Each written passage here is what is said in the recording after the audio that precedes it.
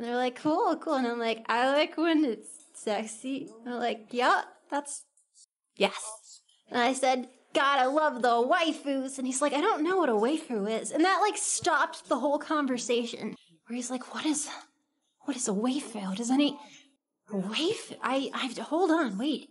What, tell me more. What is a waifu? I don't have this in my lexicon. And then I'm like, oh shit. And I'm like, well, it's, it's the opposite of a husbando.